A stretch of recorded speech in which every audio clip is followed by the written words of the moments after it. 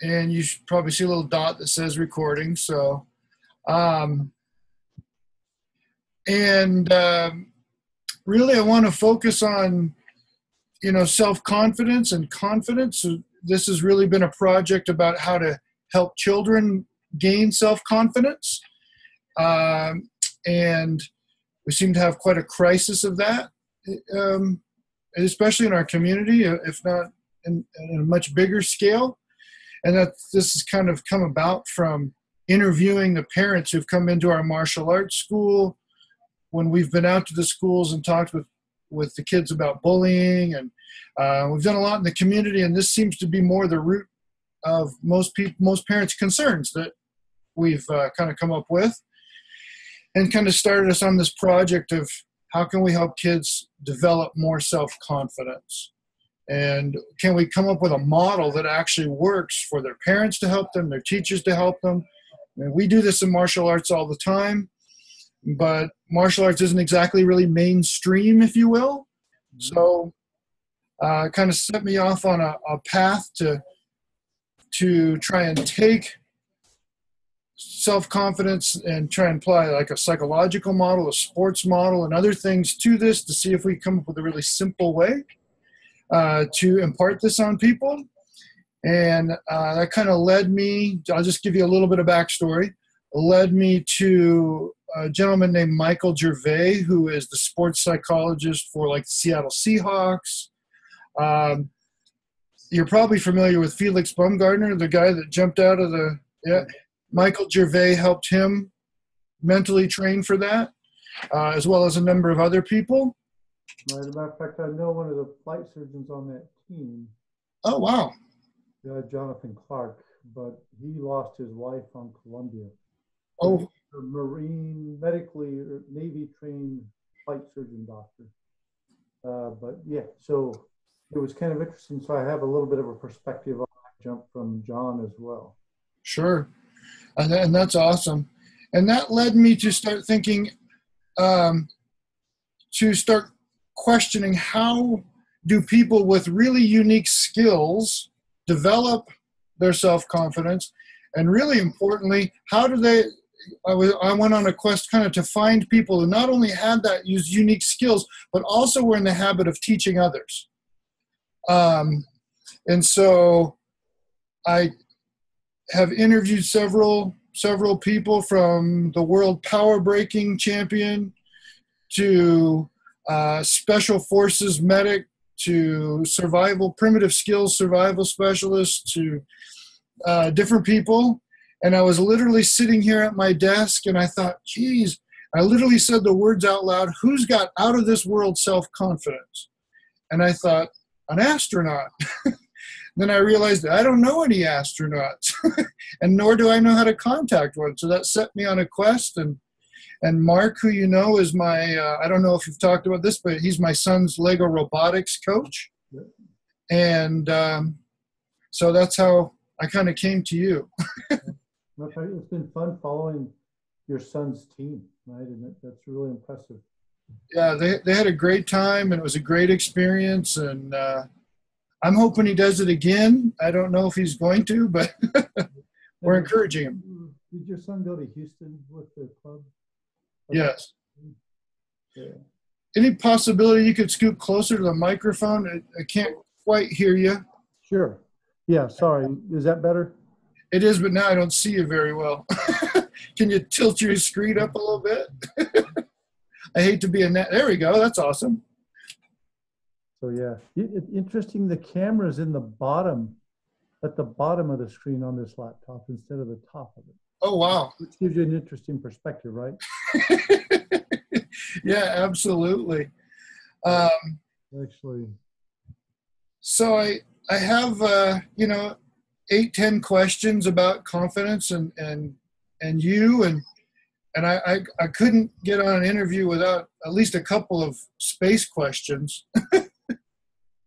so, um, do you have any questions for me? Is there anything that uh, you know maybe Mark told you that I could clear up or? No, the uh, you know the first thing is thank you for what you're doing. What, what a great cause, and so I'm very supportive of what it is you're doing.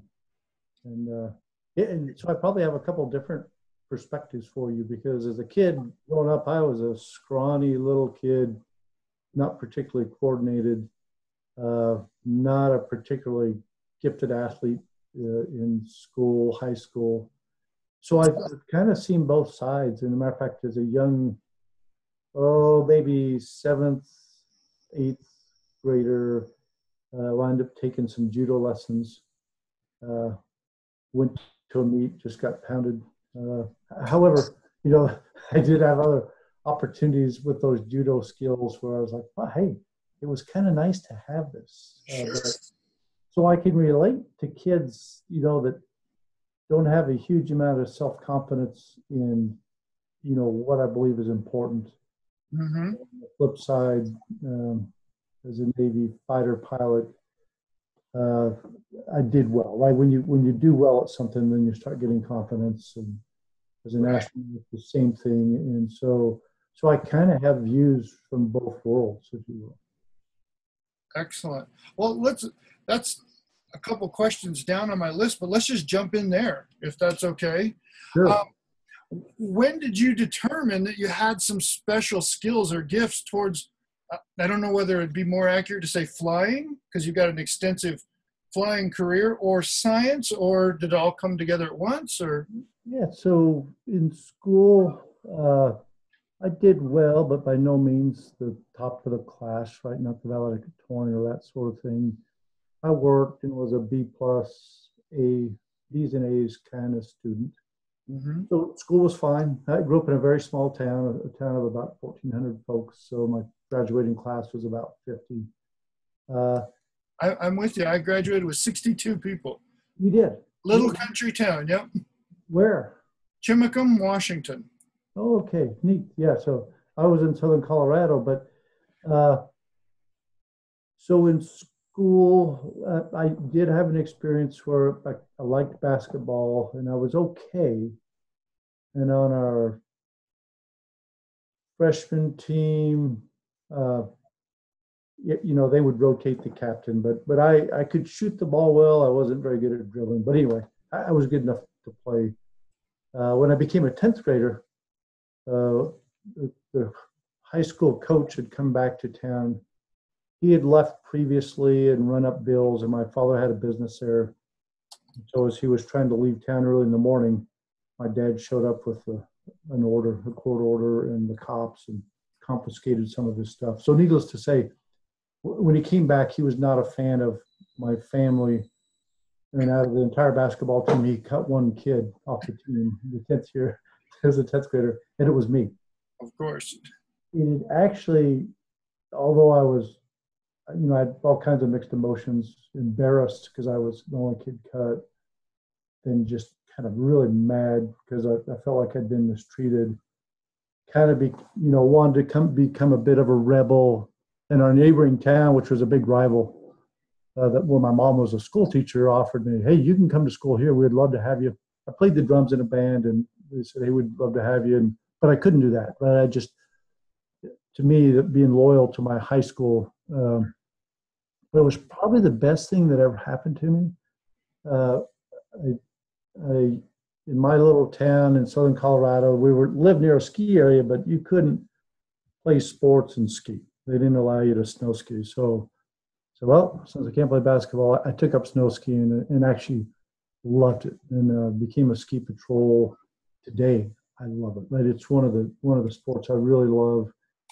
And uh, and initially, I had to work really hard, but eventually I, I did become one of those skiers where, you know, double black diamond, heli-skiing, unless it's a really big cliff, I pretty much can figure out how to get off it okay.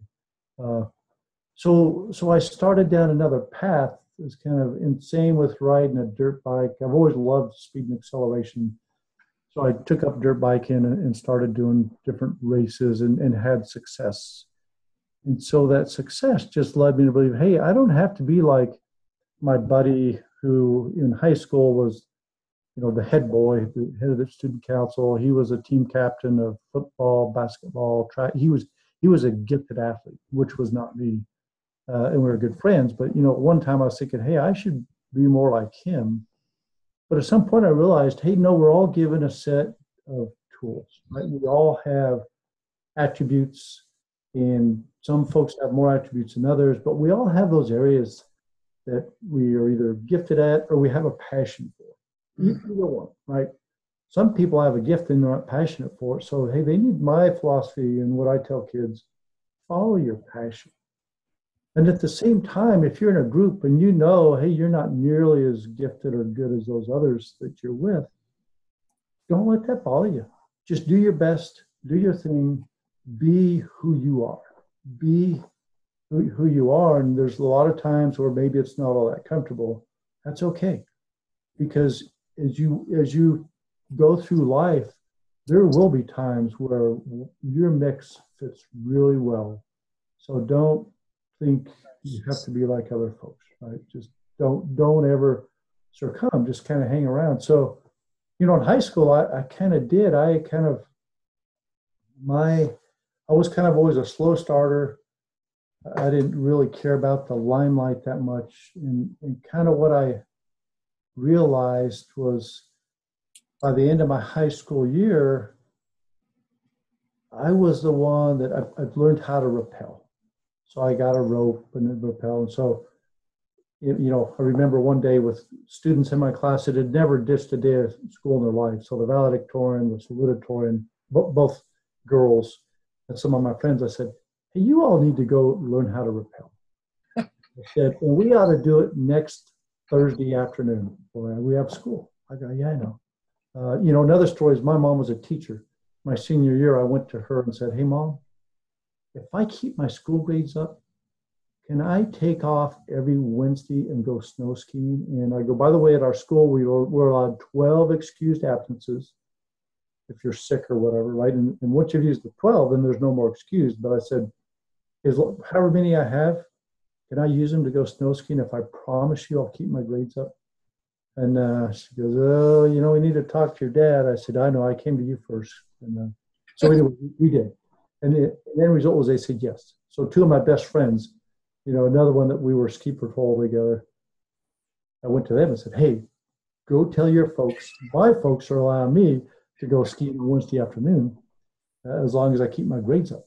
And so anyway, they did. So, you know, it was so cool. And we would travel, you know, a couple hours to bigger ski areas that we didn't normally get to ski. You know, my grades were absolutely the best those quarters because first of all, I felt a little bit guilty about not being in school. So I worked that much harder. Sure. And I also felt really good about kind of starting this private ski club.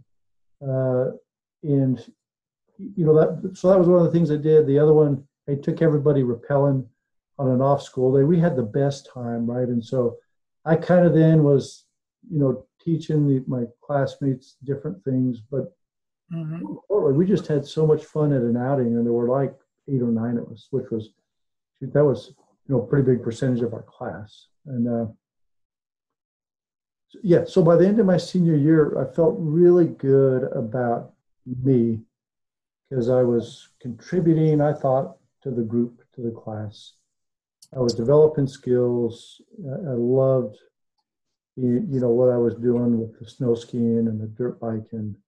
Uh, and so it's kind of like I just stuck with who I was and it started working out. And uh, so, really? I wanted to fly. Anyway, no, go ahead. No, so really from ten, I'm taking notes. So I'm, I'm not texting anybody. I'm taking notes as this is recording as well. So really, it was kind of a two-year span for you from sophomore, junior, or, or somewhere in the sophomore year, junior, senior year, where you really came into your own, or feel like you came into your own. Yeah, and you know, my that sophomore year when I got cut, you know, I could have gone down to just being a total rebel, a victim, right? An angry victim. Hey, I was mistreated and you know, I realized, hey, you need to get over it. Right? You just need to get past that. Um, and so, your story is like many other people's that I've interviewed. Mine, that's like a, I don't know if I could speak clearly, a switch that flipped for you. Essentially, that negative incident actually turned the switch to be the most positive thing that could happen. Yeah. Yes. So it, it's one of those things where it made me kind of try to sit down and figure out what it was I wanted to do, and I didn't get there right away, right? And, uh, sure. But that coach, you know, I, I resented for quite a while who did that. But you know, after a while, it's it's so interesting. You know, you want to be mean back to them, and then you realize, no, hey, don't get pulled down to their level. Right. And that's what you do. Even today, right? Even today, there's certain times where somebody, you know, is hitting below the belt, and, I, and I, my folks that worked for me, and even you know, same. I I led the astronaut office for four years as the chief astronaut, and I'd always say, do not get sucked into their fight, right? You do not go down there. Just stay on the high road. And sometimes it's kind of hard because you because you want to you know kind of punch back, but I'm like, nah, hey, you know, just stay on the high road, and uh, and things work out so much better. Yeah. So how did you transition you know dirt bikes and rappelling those are kind of outdoor sports obviously. What was the transition for flying and really for science? Because you must have a deep love for science in there somewhere. So yeah so i, went to college and, and when i was in high school then i decided i wanted to be an airline pilot. My father got his license when i was about seven years old and i loved it. I loved the flying and i thought man i want to be an airline pilot. Looks like a good job. They get paid well and so I got my pilot's license when I was in college. My dad had a small plane. And then, you know, I started realizing anything that had acceleration, I loved. Right? So, like dirt bike, mogul skiing, uh, flying, there's a lot of acceleration. And so I actually then took the initiative to go talk to the airlines that were in Denver. So back then it was like TWA, United. I think Pan Am was on. And I went and talked to like three or four of them. I drove down there. And the first the thing was, I was amazed that they were willing to, you know, let me come in and sit down with their chief pilot or somebody. And, uh, you know, so today too, right? If, if a student asks me to do something, I will bend over backwards for them. Way more than if some adult wants me to go do something. And, uh, sure. So, yeah. Uh, case in point with the robotics team, right? I don't many times offer up my friends in Houston who are still in the office. So one of my friends is the chief astronaut now. But for Mark Snoffer and his Lego kids, I go, yeah, hey, I'll do that, right? I don't ask for the, I just keep asking for favors like that. Sure. For them, I'll do it. For a group of adults, I'm much less likely to do that. Uh, so, sure. so anyway, as a kid, I went down and pretty much all the airlines said the same thing hey, you need to get flight time. And unless you have a lot of money, the best way to get flight time is join the military. Well, I was in college 74 to 78. So Vietnam had just wound down. I had long hair. I did not want to cut my hair. I didn't think I would like the military. So I didn't join the military until finally Navy recruiters showed up on site and took a friend of mine flying. And he came back and was just talking about doing all these great aerobatics, uh, T 34. And I said, Well, I have two questions what's a T 34? Oh, two seat airplane. And, and then my second question was, how much does it cost? I said, it's free. You just have to take a test. I go, I can take a test. So anyway, I, I did, you know, I had very self, selfish motives to go just get a do aerobatics in a T 34. Sure. Uh, but it made me think, and I go, yeah, you know, I really do want to fly. So I, I looked into the services, and the Navy was the best fit for me, and I found a guarantee uh, so I joined the Navy. It was scary. I was scared to death joining the military. And yeah, so then aviation, particularly as a fighter pilot, I, I had a gift. And so, uh, a matter of fact, so much so that at some point I was I was overconfident and you know somewhat obnoxious at times. And in a, as a younger pilot, I had a really, really good commanding officer. He would he'd been the commanding officer of Top Gun. He was known as the best pilot on the base. I learned so much from him. Uh, when he left, uh, the next commanding officer was not a gifted pilot, and and I was having a hard time dealing with that for a guy that I didn't really respect that much. Mm-hmm. I didn't support him well, and on on one of my evaluations at the end of the year, and by the way, they they rank you back then in the Navy, you got ranked. So if there were 12 of us pilots, you knew if you were number one, you knew if you were 12, you know, And when I went in to be debriefed, he he re, uh, my respect for him skyrocketed because he sat down with me and said, "Hey, you know, Rommel was my call sign." He goes, "You know, Rommel, uh, you got ranked here, which was high." Uh, he goes, even though I didn't want to rank you there, you you haven't been all that supportive of me, and so you got this ranking because you know other guys in between him and me have done that, and he said, "And you're you're flying, your record, you deserve that, but you haven't really supported me like you should." And my respect went from I, I hadn't really respected the guy. He wasn't a particularly gifted leader either. Mm-hmm. But when he said that, I just went, "Oh my God, he's right. He's right." And he's calling me out.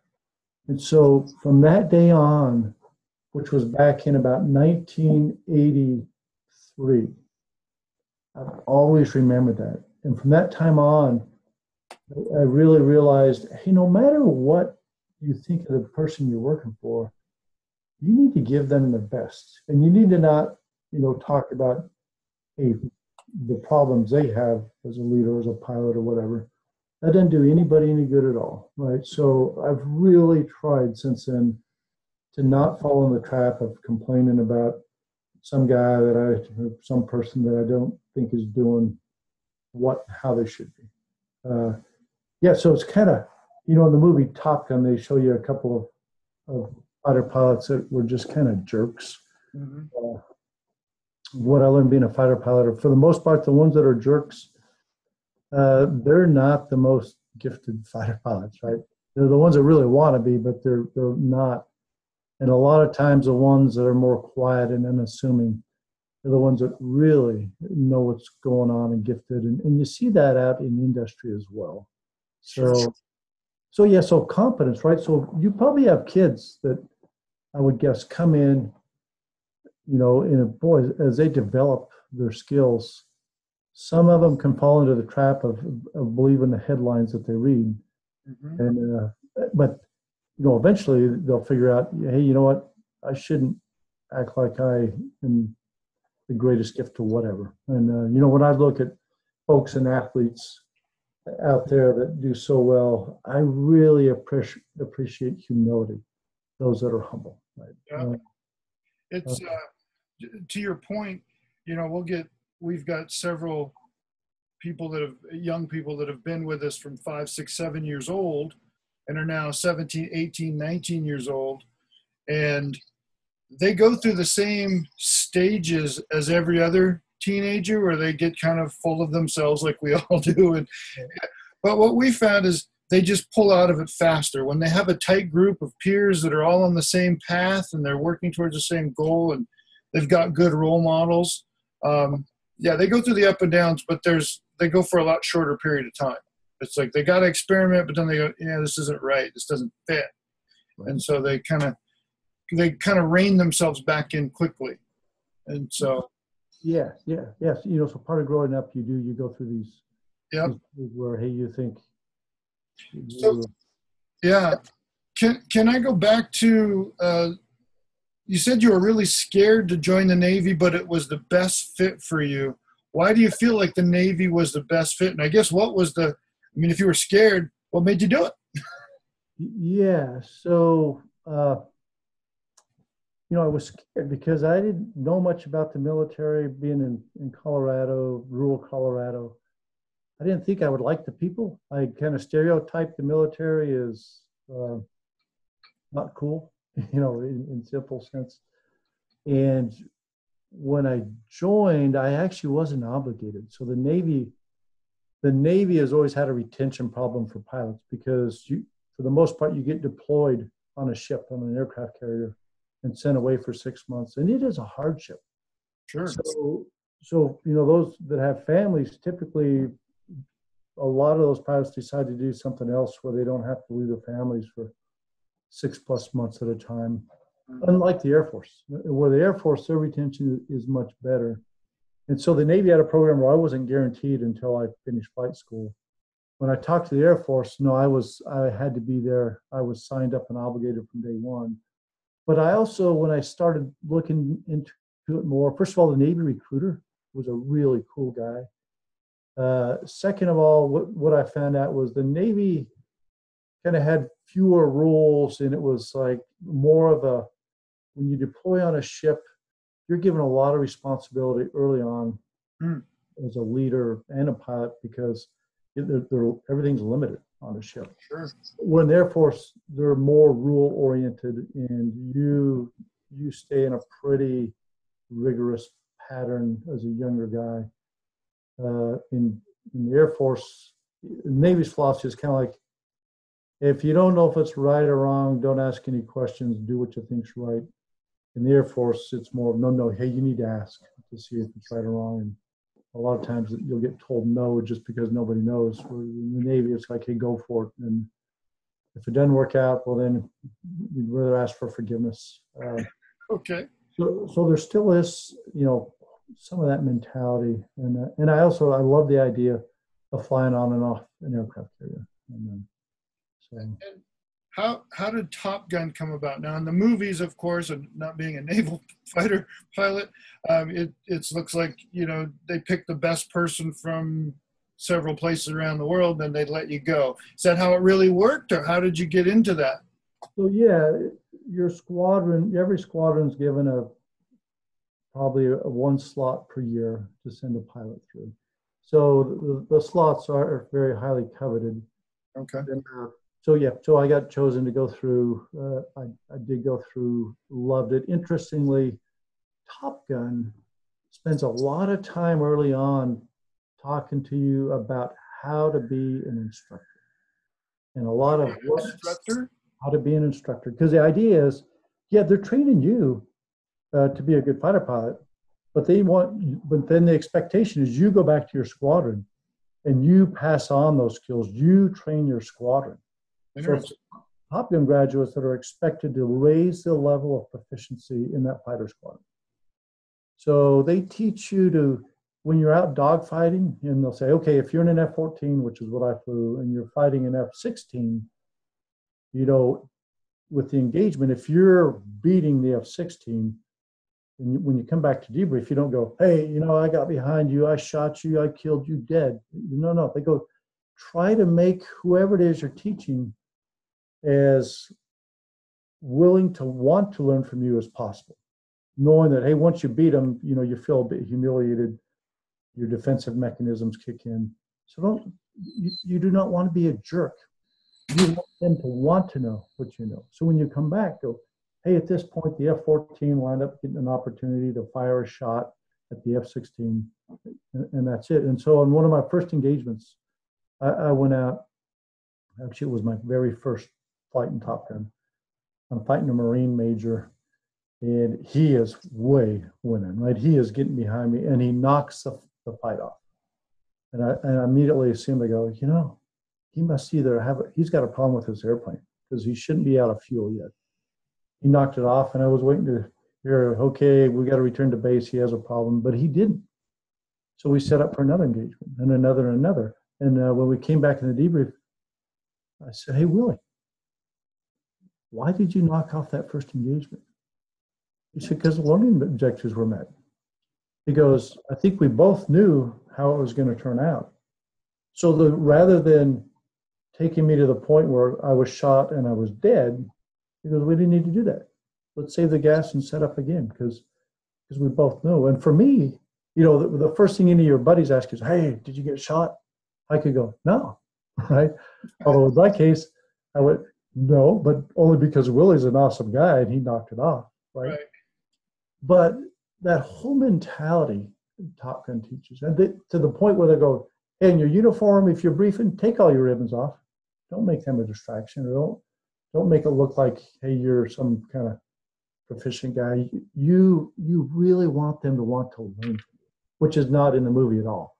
Right. Um, so yeah, and then and after Top Gun, they write down on a list who they would have like to have come back as an instructor, and you know they only have about ten-ish instructors, junior officers. So it, it's a really tough list to break out on, uh, but but that's what you want, and so they want the folks that will be good instructors, which aren't necessarily the most gifted pilots.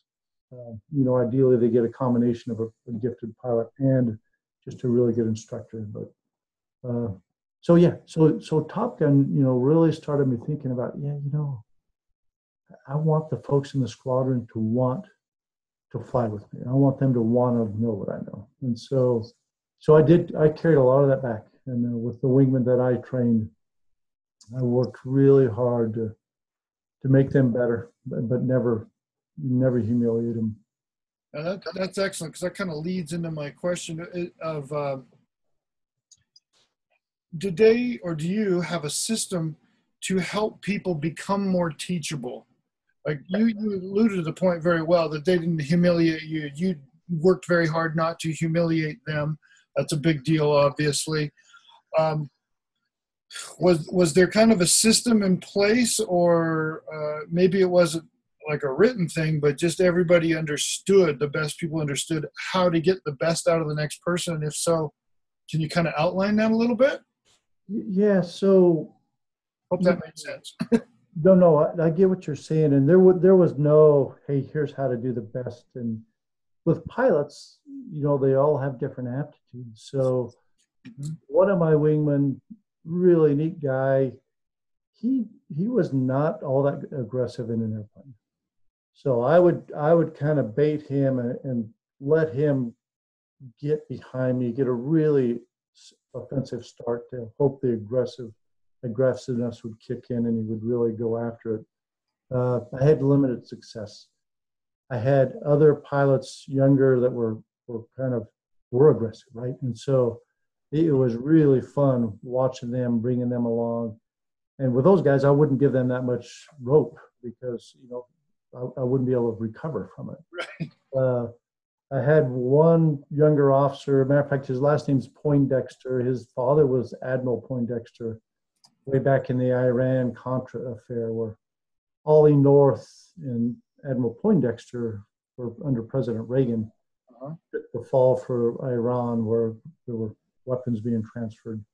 Uh, anyway, this is that guy's son, and uh, Alan. He he was a wingman, and got, he was gifted, and so he showed up as a really gifted, brand new pilot. So gifted, we put him with a, a young backseater uh, and then it, then it all went to his head. And then all of a sudden, he, he was Mr. Know It All, uh, and he, he stopped learning. As a matter of fact, he even went backwards because he thought he knew everything. And so him, I was hard on, right? So him, I would I would just hammer. I would just come back and sure trying to get through to Dex. And uh, you know, and matter of fact, one time I was so hard on him, he he stormed out of the debriefing room almost in tears because uh, I didn't feel like he was really listening or getting it. So I, I was just really hard. I, I, rarely, well, he's the only guy I ever did that to. It, it worked. He showed up at NASA as an astronaut, uh, you know, about four years later, and I followed up. I followed up with him on the squadron too, and they go, "Hey, he's really come around." And uh, he didn't do it when I was there. Our, our our period of overlap was about a yearish or so uh-huh. and it was you know midway through that I started being hard. So with him, I was I was really hard. I was very different than any other wingman, and I find with me, I'm particularly hard on those where I see a lot of potential, and particularly if I don't think the potential is being utilized, I'm hard on them.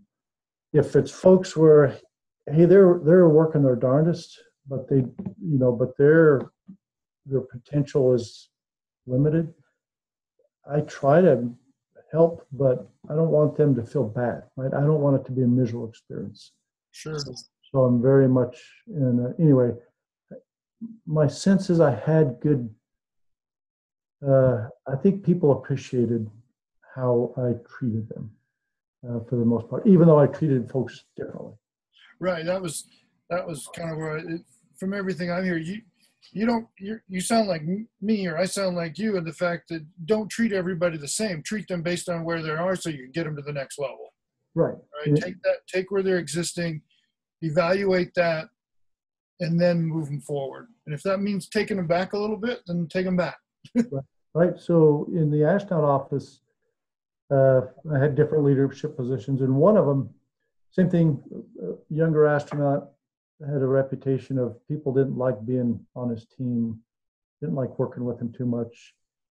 Pretty intelligent guy, uh, actually very intelligent, but but quick to point out uh, problems with with other folks, or quick to cut him off if he had the answer, and not really let the team totally function.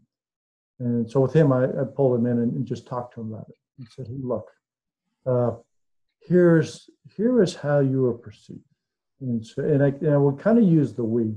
So we need to change it because because I know I, I know what you can do, and I know your capabilities, and so so in the future, work hard, you know, to bite your tongue right when, when, let the team maybe struggle through things a little bit more if they get it go good and i said the other thing is his name was steve i go steve nobody doubts that you are really technical capable uh, but you will be more valued on the team by letting the team develop more or even if it's just one other person mm-hmm. and, uh, and anyway you know, after I did this, she kind of always wonder. I go, yeah, I wonder if Steve's ever going to come back and talk to me again, because I I told him things he probably hadn't heard before. Although I don't think he was surprised, but he did. He, he came back, and even today in industry, he's he's with Lockheed Martin. I'm with Northrop Grumman. You know, I, I I hear feedback from folks at Lockheed where Steve really appreciated uh, how I treated him and what I did so, awesome. uh, yeah. Excellent. Um, how did, what made you determine, I've got to, I want to get to how you got to NASA and then a few other questions here. How, what made you decide to go being a pilot and sound like you really loved it? it was it the fascination with more speed because it doesn't get much faster than a rocket i'm sure or what was it yeah so because people say, "Hey, did you always want to be an astronaut?" I'm like, "No. I mean, I always thought it was cool, but not for a million years did I think, as a young kid growing up, I could really be an astronaut." Right. And so, once I became a fighter pilot, you know, there was a Navy test pilot that came out and talked to our squadron about, "Hey, you guys might want to think about being test pilots." And by the way, test pilots, all the early astronauts were test pilots. So I went, "Wow." I didn't even know that, right? I mean, so uh, that made me start thinking. And, and, yeah, I've never found anything yet that's had enough power. I, I've never been in or on anything yet that I felt like it's had enough power. I, I love power and acceleration. So, so I, I looked into that. Okay, what does it take to be an astronaut? Well, for, for pilots, you have to be a test pilot.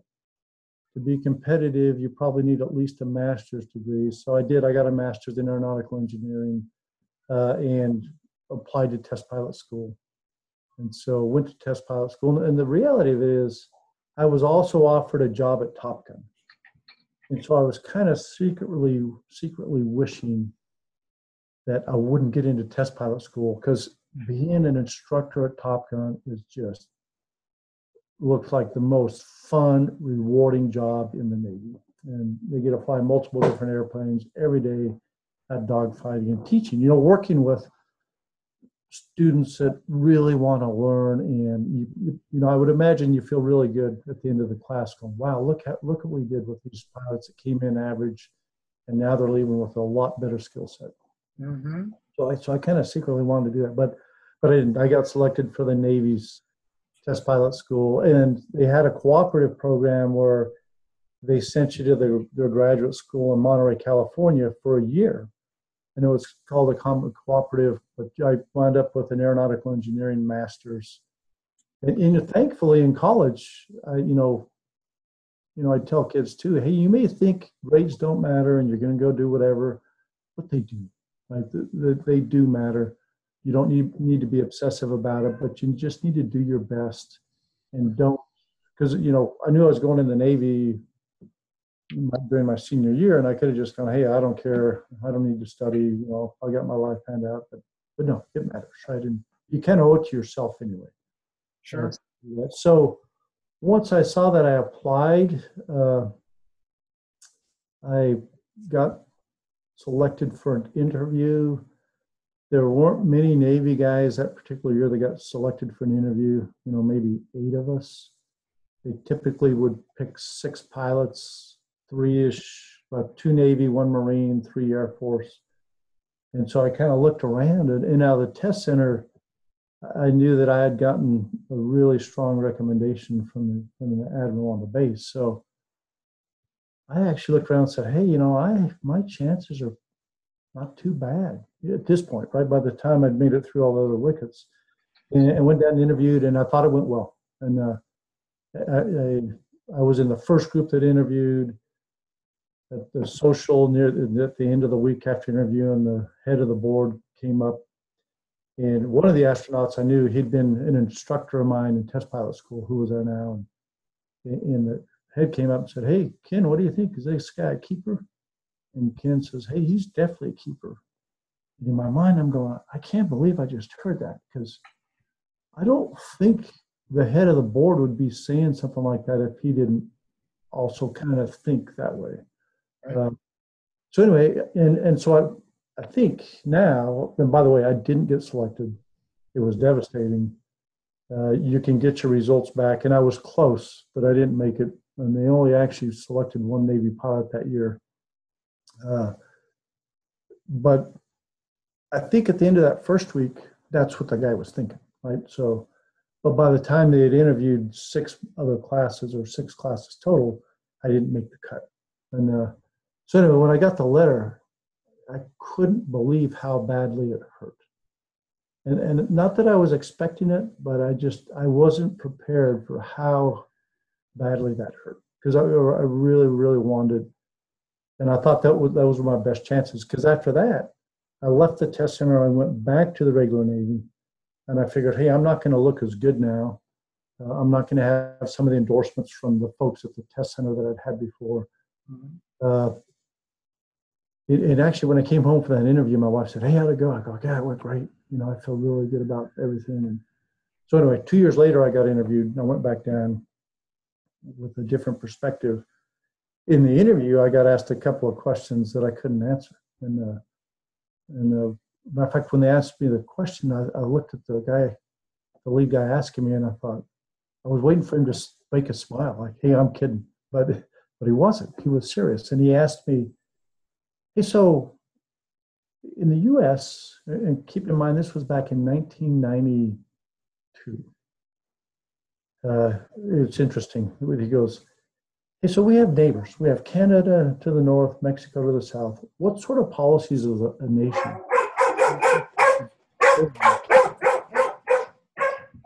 Sorry.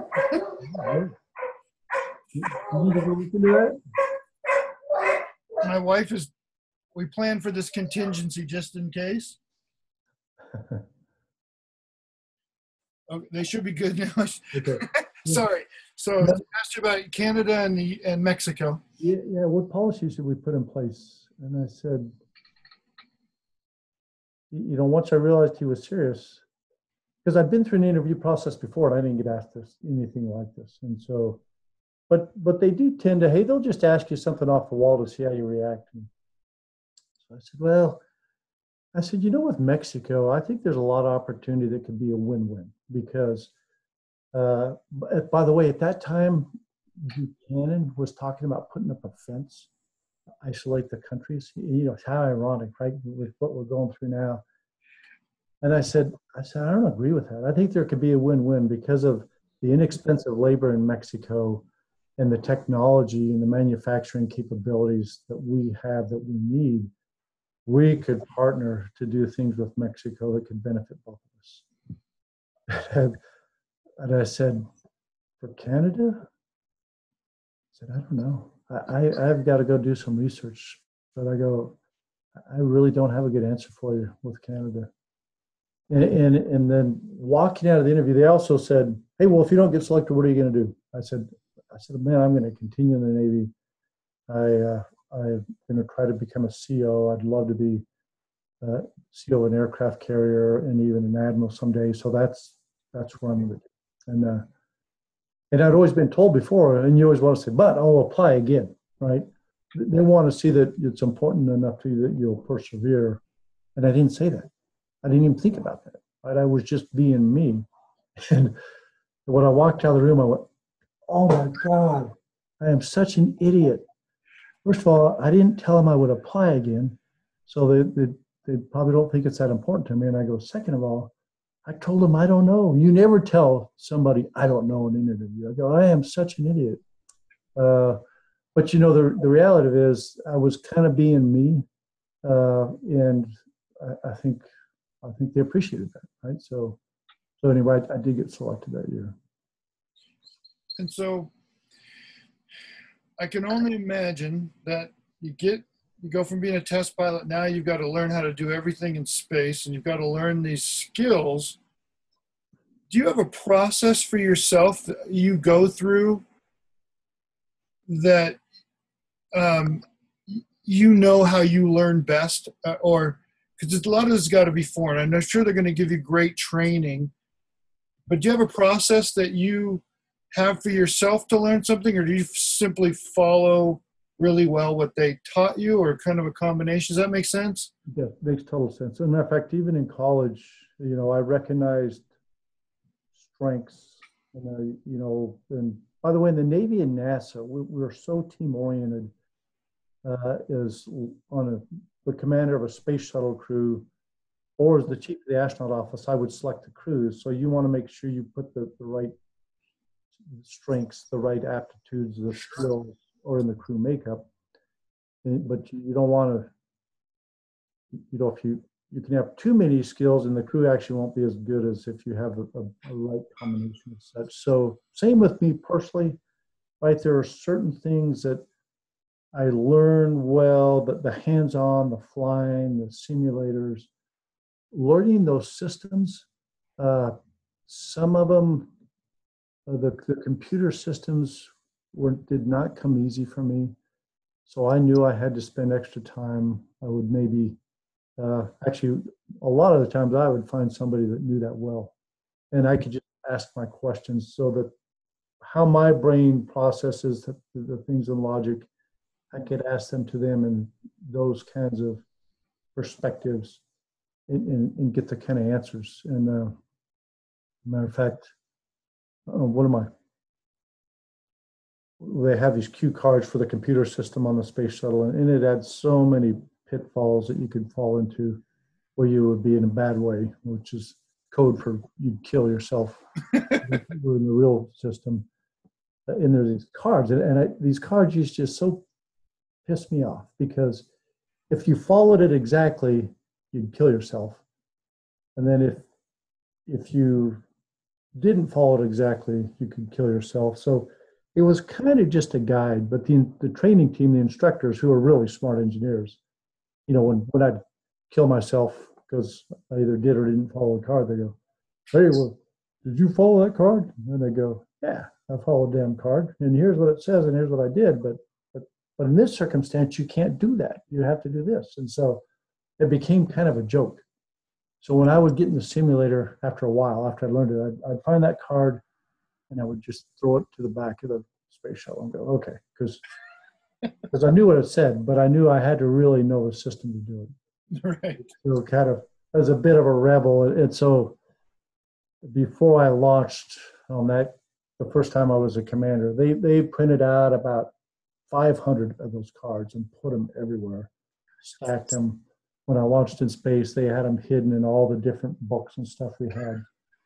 they didn't want you to forget, did they? they didn't, and they knew that was their jab at me because they knew that card just pissed me off. Because you know, we need a better card. Right? This damn thing.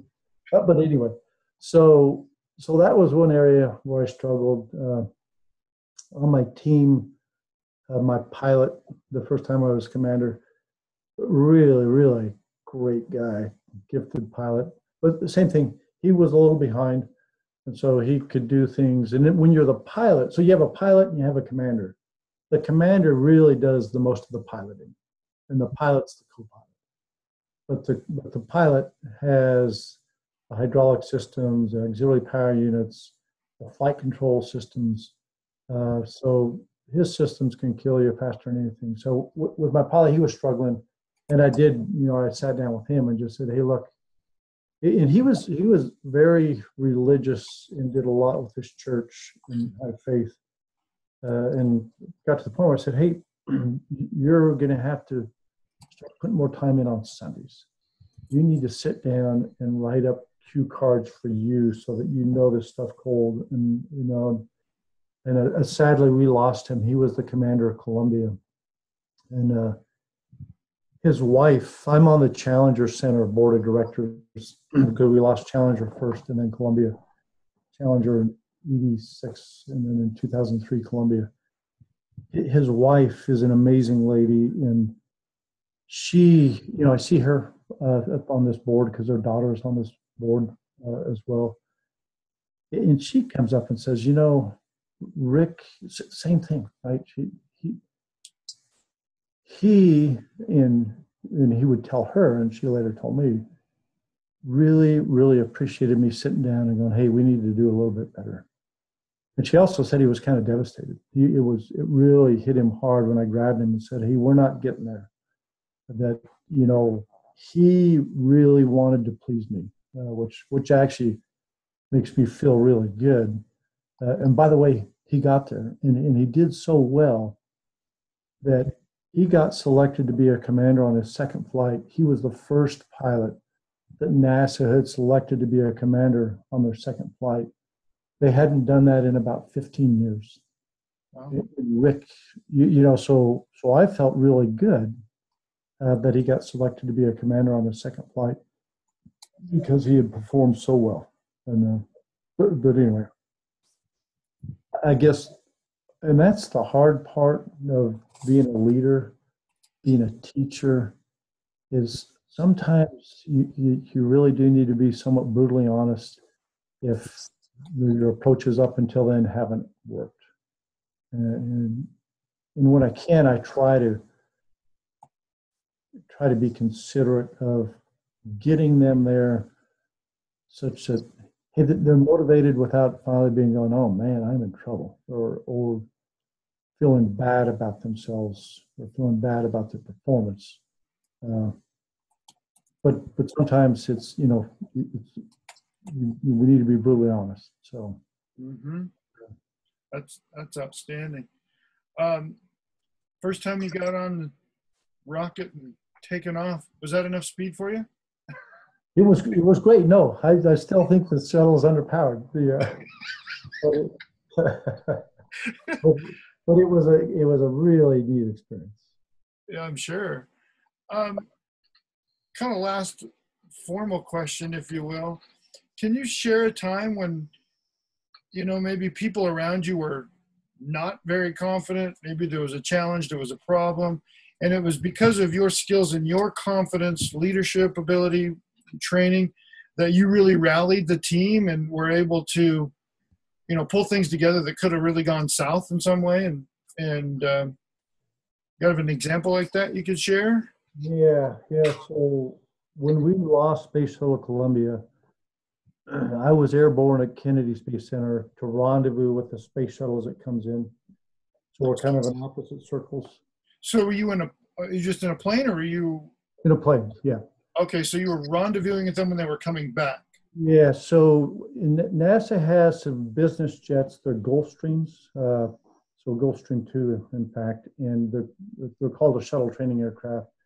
The left side, the right side of the cockpit is a Gulfstream 2. The left seat is a space shuttle. So, and there's a bank of computers in it. So, to train to fly the space shuttle, we we would go with an instructor in the right seat who would fly the, uh, the we call it STA for shuttle training aircraft STA up to about 35,000 feet overhead the field engage the fly-by-wire space shuttle and now it flies like a space shuttle and now the left seat has it with the hand controller that's in the, in the space shuttle and so when the space shuttle comes back as it's rolling out on final at around 16,000 feet we're coming in from the other direction and rendezvousing with it. And then we follow it down the path and we're gathering the environmental data. So if there's the wind shears, the, the wind direction, if there's any thermals, we gather that data and then we back it out to compare uh, how well the systems on the space shuttle reacted, or if there was something strange, we had that data so we could learn from it. Mm-hmm. So anyway, we, you know, by the time Columbia was supposed to show up, we knew there was a problem because there was no communication. Uh, Columbia didn't show up, uh, which was really, you know, devastating. I'm supposed to land at a runway about six, seven miles away. They have a helicopter position to take me to the to the, the field. I know the families are at the field, the shuttle landing facility. Mm-hmm. So with Houston, when they said, "Hey, you know what? You need to go and land. Columbia is not showing up," and then and I did say, I said, "Well, can I land at the shuttle landing facility?" And they came back and they go, "No, right? I mean, they didn't want to change procedures, so." My, my interest was to get back to the families. Um, so I did get back there pretty quickly it was a tough time with the families, uh, with the spouses. We're, we're a very tight knit family.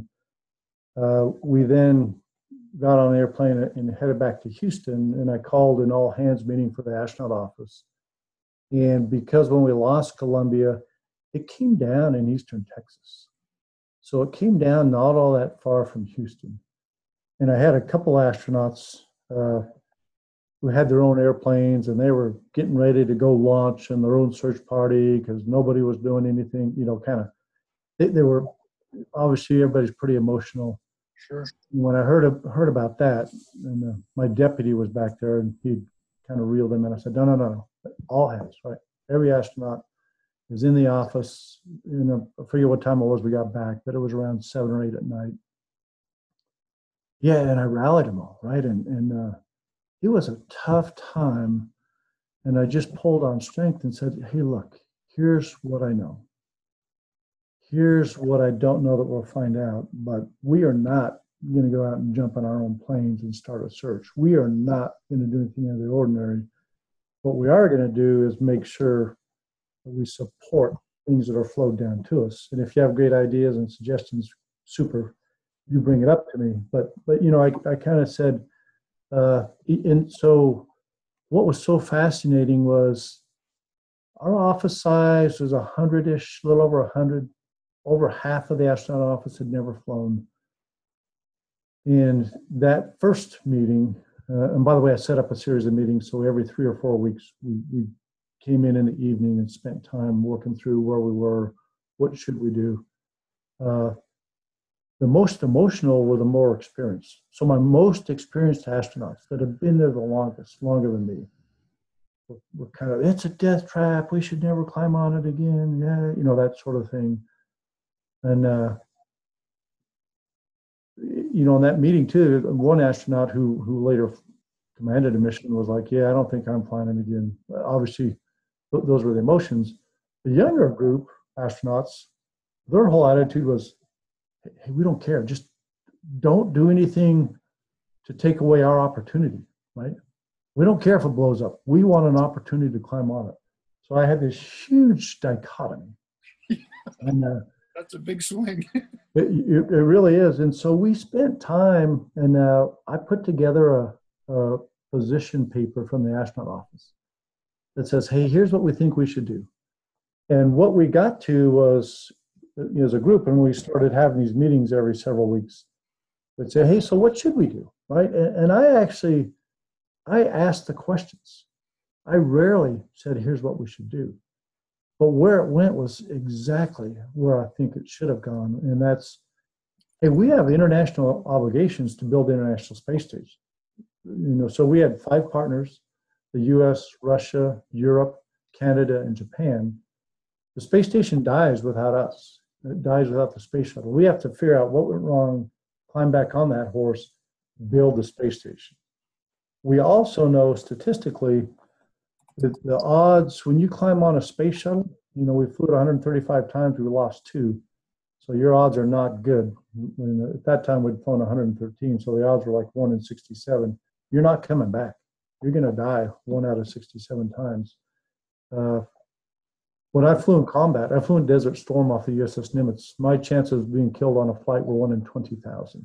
So compared to any other thing, there, there's not a job that's more risky than climbing on the space shuttle. And the reason is it doesn't have crew escape. Uh, even the older Apollo, Mercury, Gemini all had crew escape. The shuttle didn't. It was so sophisticated as a winged vehicle, it was hard to figure out how to do it, so it was never done. So as an office, we go, hey, we got a complete station. We need to build out station. That should take 25 or so more flights. The odds of losing a crew, another crew in those 25 flights are in our favor because, you know, they're one in 67. So anyway, the real simple math for everybody to understand is 25, that's worth the risk. We can do that. Uh, but we have to know if the space shuttle is damaged, like it was on Columbia, which we didn't know. So we, we did get those kinds of inspection techniques and resources. But what we really need is a spaceship that'll take us back to the moon and onto Mars. And the space shuttle can't do that. It was never designed to do that. So we need the replacement put in work today. And we need to continue flying the shuttle to build out station. And then the transition that we worked out was about a year of no vehicle for astronauts to fly. We'll transition to an exploration vehicle that'll take us beyond low Earth orbit and it'll have crew escape. So I wrote this white paper up and, and I intentionally did not go tell my boss because I knew he would tell headquarters, and I knew headquarters then would want it to be their paper, right? And then I'd be forced with this this problem of headquarters telling me what my paper was going to say. So I just didn't do that, and uh, I showed up to my boss and said, "Hey, here's a astronaut white paper. By the way, he was an astronaut. He just owned the astronaut office and owned all the airplanes NASA had at our, our Ellington field. So the 747 that hauls them around. We have some B-57s that do recon, reconnaissance and, and research. He, he, he said, hey, Rommel, I would sure like to have seen this paper before you signed it. I said, I know. And I said, Bob, you know, this isn't Kent Rominger's white paper. It's not intended to be Bob Cabana's white paper. This is the astronaut office. And we spent a lot of hours pulling together what we, the astronaut office, thought.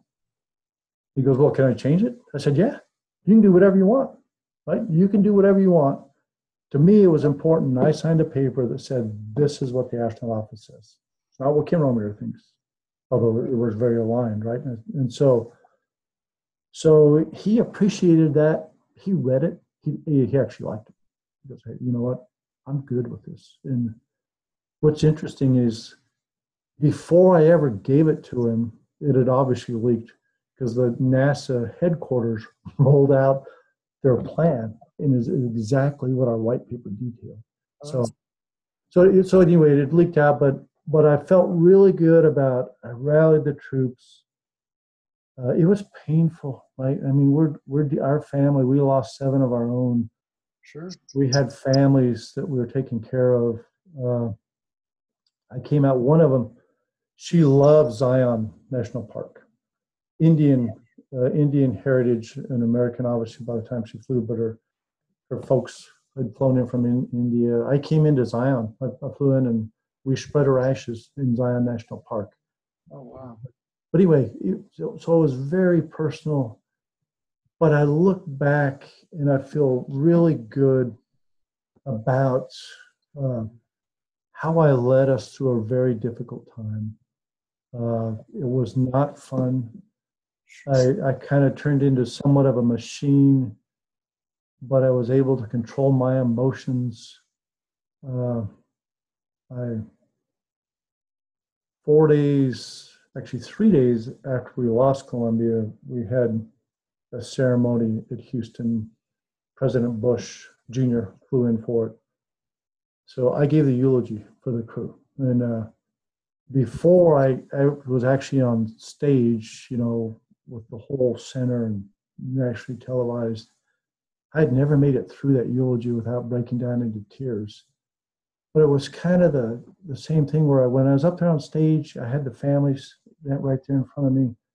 I, ju- I just had the strength to deliver, and I'm not a good speaker, but for me, I, I delivered it to a standard that I was, you know, was hoping I would give it to and down because uh, that because that strength. Uh, but anyway, so that's kind of a sad note. But but ironically, you know, I feel good about how we recovered uh, through there. And so anyway.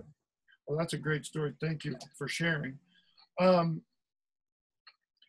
so, kind of my last formal question is, as a message to someone who maybe feels like they don't have confidence or they not sure if they can do something or they maybe they feel like they can't what would a message be that you would give to that person yeah my message is just go try right? It takes a, a bigger person to try at something when they know hey, it's probably not going to work out all that well or they're going to be a, you know in their minds there'll be a failure or it might be embarrassing because you're not going to fully do you are such a bigger person than that one that knows hey you know what? I i can i should be able to go into this and do well i, I know i'm going to do well it takes a much bigger person to enter something like that where they know hey you know it's going to be embarrassing because i'm going to get my tail kicked if you do that and demonstrate that you can do that, you are such a big person. And people recognize that, right? They, they probably won't come up to you and go, hey, that was awesome. But, you know, when I was, uh, when I was running track too, I sucked at distance and track coach came up to me and said, put his arm around me, goes, hey, you know what? You, you work hard on anybody out here. Don't get down on yourself. Uh, keep it up you know, I eventually did. You know, uh, I I got to where I I did could run a five minute mile sort of thing, which was nothing great, but it wasn't nearly. I was I just when I started, I just sucked. I was so bad, and uh, and, and, he goes, "Hey, stick with it." And it, there was nothing fun about it. I'm not sure why I stuck with it, but I did. And then later on, you know, I, I wound up uh, just being glad I did. I'd stuck with it. Just kind of seemed like the right thing to do. And and a couple of people let me know that hey, you know, we we kind of acknowledged eh, one, you suck at this, but two, you're trying. So so keep trying. And uh, and so yeah, it, it's really, you know, what's important is you you go try right. You try, do your best hey man, there's only there's only one person that finishes at the top. All the rest of us finish below there. Learning how to deal with that it is so important. And you know, the people I really admire are those that they just, they just throw themselves out there and go for it, whether they have talent or not. And and they figure out mentally how to deal with it and enjoy it. You won. Uh, you won when you do that. You win. Uh, you, you kind of alluded to this earlier, uh, just a couple minutes ago. Self-talk, telling yourself to go do it. Tell, how, what kind of key do you? How do you perceive that as a key to self-confidence, or do you? Yeah, no, I absolutely do. And uh, matter of fact, for me, interestingly, when you land aboard an aircraft carrier, you're graded. Every single time you land on an aircraft carrier, you're given a grade and they have kind of strange language. It's called OK fair or bolter if you missed the wires, or no grade, which is bad, or a cut if it was dangerous. And uh, when you're deployed at sea, that's a big deal. Everybody's grades are posted on a board. When you walk into somebody's ready room, which is where all the pilots uh, gather, you, you walk in, you look at the greenie board and go, okay, because green is good, yellow is average, red is bad you look at it and go, hey, who's who's doing well, who's not. Um, so there's a lot of focus, right? And if I was in the proper, if I were properly focused, I could do well. And if I weren't, I, I didn't do nearly as well. And so a lot of times I knew before I ever climbed in the airplane, you know, I'm not focused.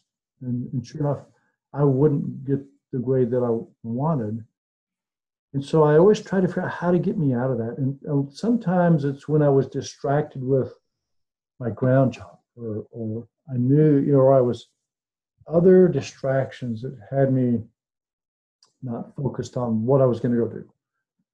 Or if I'd had a, a real good run of success, I'd become a little overconfident and just think I had to figure it out without trying. And I, uh, and then I know too, I go, oh, yeah, hey, I've been here before. I, I am to, I'm, I'm overconfident. I'm so confident. I'm, I know I'm not focused. Isn't that weird to know? So I competitively water ski. Same thing. I'll go out and when I drop in the water, I'm going, you know, I, I just am not, not focused. And, uh, and I'll go out and I'll won't ski as well as I should. And then that resets me where I'm like, okay, right. So the next time, so the truth is, I'm better. You know, I can get more focused, but a lot of times it takes that that bad set of skiing. It takes that, damn, I didn't, I know I can do better than that, and I didn't do it. Or I'm just going, okay, Kent, let's let's think about this, right? And so the human brain, right? I, you know, the real answer is I don't know how to. Re- I wished I could really focus myself, and uh, you know, like you look at little Simone Biles. I don't know if you follow the Olympics and gymnastics, but you know, yeah, she was pretty amazing.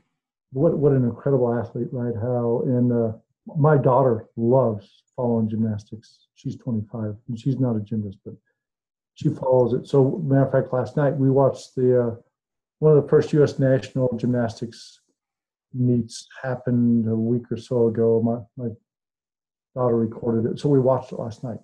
And Simone came back, and she won it, but but she actually had a fall that made it a little closer than it should have been. And when they interviewed her, they uh, and you could see her during the meet. She was just didn't look real happy and content. And uh, when they interviewed her, they said, "Hey, so you know, it actually turned out to be a pretty interesting meet. And uh, what were you thinking after the bars?" She she she fell fell off the bars, and uh, she said, "She goes, you know, I knew I could do this. In practice, I had it all figured out, and here I didn't perform, so I was annoyed with myself." and she used the word annoyed. So she goes, so I was annoyed with myself, right? So, but but with Simone, you know, that's obviously she's got physical gifts, but mentally, she too, she she pushes herself, she drives herself, she tries to stay focused, but she obviously wasn't as focused on the bars as she could have should have been. She admitted, hey, the, the whole evening she was more nervous than she thought she was going to be. She was having to deal with the nerves. And for the most part, she feels good about how she deals with her nerves. But but I applaud her for acknowledging, hey, I, I was nervous, more so than I thought. And I got annoyed at myself because, you know, I, I know I can do better than that. So as humans, I think we all battle that. Some of us are better at dealing with it than others. And uh, I know I struggle. I struggle with particularly if I think, hey, I'm kind of getting this figured out, you know, then that may help me for a little while, but eventually that becomes a little more dominant uh, in my brain than it needs to be, and I get reset. So and I, I wished I, I wished I had something for you to tell you how. No, you, you have actually across all genres that I've interviewed and the psychological models that you've basically hit on the four points through our conversation here of what I'm coining as the personal confidence model. I don't know if that's a real thing, but you know, you know, determining what's possible, outlining the exact steps that you actually have control over, mindfully executing those steps until they're a reflex, and then using positive self-talk and affirmations to bolster your actions. And and those four things are kind of seem to be universal across everybody. They seem to be universal across the psychological models, and you know, and stuff like I told you with Dr. Gervais. And this, and so I appreciate you kind of rolling through this with me because through the course of these questions, you said these four things totally in a different way, but that's what you hit on. Um, unless you would disagree with that. No, I totally agree. When I should be looking at the camera. but, you know, you know one of the things I do fairly well is uh, things that I can't control. I, I, tend not to get too hung up on those. And so, like in flying the space shuttle, people go, "Hey, weren't you pretty worried on launch that something could go wrong?" No, no, I, I was more worried that I would screw something up that I was supposed to do, or that the weather, or we'd have something mechanically that would prevent us from launching. But I, I, I was never once the least bit nervous on launch. Now, when you come back for landing, uh, I actually thought I'd be really nervous. Uh, I, I, wasn't so much, but we manually pilot the space shuttle into a landing the last four and a half minutes. And uh, when I was the pilot, I saw commanders that were really nervous. Uh, so I figured I would be as well, but, but I wasn't. I, I, am like, well, hey, uh, a little nervous, but things I can't control. Hey, I, you know, I just didn't never get all that worried about it. So, mm-hmm. yeah, yeah that, that's awesome. Um, so I want to be respectful of your time. We've been going for a while. Is there anything on Earth that compares to being in space? No, there is not. No, it is. It is phenomenal. You know, you're looking down at our planet. You circle it every 90 minutes. Uh, it's a gorgeous place. Floating, like just floating, where you're you're just always floating, is uh, initially very surreal. And uh, yeah, so the whole experience is just phenomenal. And uh, you, you, know, in my case, I always just felt so blessed and special to be able to do that. You know, to, to look back and, and so. Yeah. Earth, yeah. How many astronauts are there, like active at any given time? So the, the number varies widely. When we were flying the space shuttle a lot and building space station, at one time we had over 150 astronauts in the office. Today, because we don't have a space shuttle, space station, you know, there's six total of which half-ish are Americans. The, the astronaut office size now is down around 40, maybe a, a bit fewer of active. Mm-hmm. Russia, the same numbers probably, and then the, the Europeans, Japanese. But, you know, there are roughly six humans in orbit permanently, and they stay for that six months.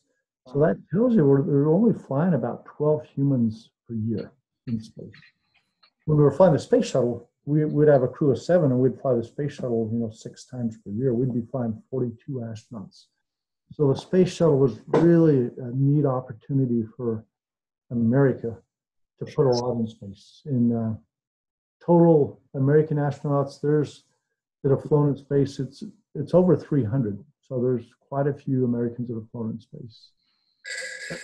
Has anybody flown more than you? By looking at your resume, at least what I could find online, it seemed like wow, that is a lot. so, so I was lucky. I flew five times on the space shuttle. We've had folks that have flown six times and seven times. So yeah, they've flown more times. The station astronauts have way more time in space because on the shuttle we were shorter duration. The longest flight was just you know about 17 plus, almost 18 days. Right. Uh, I, I think I have more hours on the space shuttle than anybody, which is just a coincidental. My missions were all long, so even though folks flew seven times, I wound up with more hours on the space shuttle. Uh, so, but but the answer is yeah. There there are folks that are, and in fact, gosh, John Young was one of my heroes. He flew Gemini twice, Apollo twice, and the space shuttle twice on Apollo. He he walked on the moon on the Apollo mission. Uh, he was the first commander of the space shuttle, so he flew the very first space shuttle. Uh, and so the experiences that guy has had are phenomenal, and, and he was such a neat guy. And, and Neil Armstrong too was one of my absolute. I I just totally thought the world of Neil. He came a bit became a bit of recluse, and actually the Apollo guys, the moonwalkers, most of them dealt with some serious challenges of depression, alcohol abuse, you know, almost all of them, some more than others. But uh, Neil, he just he handled all that so well. Uh, anyway, There's a new movie about him coming out. I saw previews for. oh, good. It Yeah. looked like it focused on him. I'm sure others as well, but um, can't remember the name of it. But Ryan Gosling starring as as him. Oh, neat. So I think Yeah. uh, So it'll be a it'll be a really neat story to watch. And, uh, yeah, and Gene Cernan too. There was a movie about him, Last Man on the Moon. Uh, he he's he's a character. I I really loved being around Gene, and he was passionate about inspiring kids, you know, to learn math and science and just do the most that they could. And uh, so anyway, those guys got you know I I don't even come close to being in the same league as those guys and, and everything they did as the pioneers and going to the moon and anyway. Uh, that's got to be a coveted, uh, very coveted amongst your group to be able to step on the moon. yeah, that, that's what I've always wanted to do. I want to go to the moon. When they say Mars, you want to go to Mars? I go, yeah, but you know Mars, that's a two to three year trip. right? A lot of sacrifice. the, the, whereas the moon, you know, the moon's just a few days away, and on the moon you weigh only a sixth of what you weigh on Earth. On Mars, you weigh three eighths of what you weigh on Earth, and so you can jump higher on the moon. You know, anyway, I was, at, the moon too, you can look back at the Earth and, and see, you know, see the Earth. Right. When you're on Mars, you can look back at the Earth. It's just one of the stars in the sky. I mean, so. Yeah, a little- uh, Discomforting, I think. so it would be neat to be that explorer. If you look at the fun side of it, right? Like, you know, dog fighting is fun. Uh, you- you're not doing as much for mankind. So the fun side of it, the moon, it would be way a fun playground. Mars would be really cool to be a part of that. And uh, Sure. all different motivations, but yeah, if I was given the choice, I'd go to the moon. Know Mars is a much more novel, important mission. Sure. Have you been on the space station? I have, Oh. yeah. So, uh, matter of fact, I was the very first space shuttle that went up to space station was Endeavour in uh, December of '98, and it went up and rendezvoused. The first piece came out of Russia, out of Kazakhstan, on an unmanned rocket. Endeavour launched and took up a piece built in the U.S., a node, and attached the two. And it rendezvoused with the Russian segment grappled it with the robotic arm, mated it to the node that it had on its docking port, and then undocked. And then I came up next, and so I wasn't the first shuttle, but the Bob Cabana was the guy that had been my boss before, great guy. And uh, so I went up next, and I was the first one to actually dock, right? So, so Oh, I would always make sure he knew, hey, I was the first one to dock, right? Although he he really had the premier mission, and I was a younger commander that, and they had to add in a mission because everything was slipping, and they had already assigned all the experienced guys to do stuff. So I was just kind of happened to be in the right place at the right time. But uh, but I, I've had so much fun with Bob over the years, going, yeah, hey, you know, you know, I was the first one to dock with that space station, even though he was he was the guy that got all the attention for this first shuttle. And then I got to go back later too when there was a crew on board. We took up a, a the Canadarm, but a billion dollar robotic arm, and installed it on the station. So it was it was neat. It was neat going up when there were, you know, comrades that had been off the planet for four months, and we show up and you get to see them in their little home home in the sky. that's awesome. Uh, last question: Is there a, a cause, a charity mission that you support, or uh, maybe NASA does that? If, if the opportunity presents itself, some way we can contribute to that for you. You taking your time to do this. Is there? Yeah, yes, there is. So Challenger Center. So, yeah, the Challenger Center. So, the widow of the commander of Challenger, June Scobee, now Rodgers, kind of started this within months after we lost Challenger. And so I'm on the board of directors. I was the chairman. Uh, my my term uh, expired, so we, we have a new chair. Uh, but we have 43-ish centers around the nation, a couple of international. And what they do, they're there to inspire the STEM uh, activities, and we really target middle school. So kind of fourth, fifth, sixth graders, put them in, let them be an astronaut for part of the, the time, the mission controller for part of the time. Uh, different missions from going to Mars to undersea to looking back at the planet. And it's pretty cool how you see them get because it's hands on, right? So it's hands on. And we really inspire target children from all over, but certainly underprivileged areas uh, that we bring in.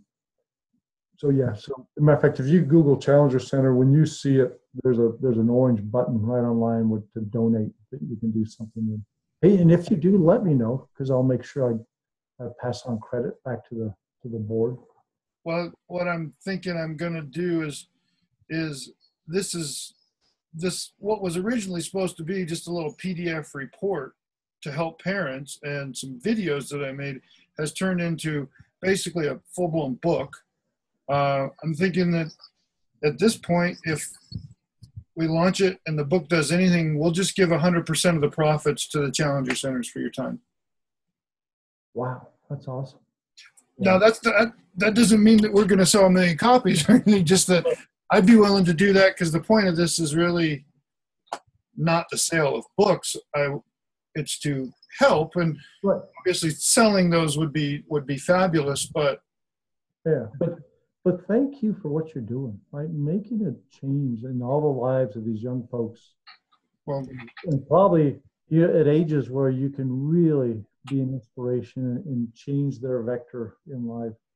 absolutely. Really, that, that is such an awesome cause. Uh, and that's what, you know, in Challenger Center too. I, you know, when we're talking about it, and uh, I keep telling folks, hey, there, there's no cost to me that is more important than what we're trying to do at Challenger, right? And we just do our piece, right? And because we're brick and mortar, hands-on, Mhm. we don't get to as many kids as we want, and, and we're we're trying to expand into schools with training on computers, so more virtual, uh, with the idea of getting them excited, and then those that want more find a brick and mortar center to go come to. But anyway, Do you go out to schools and speak, or speak to groups of kids, or I, I do.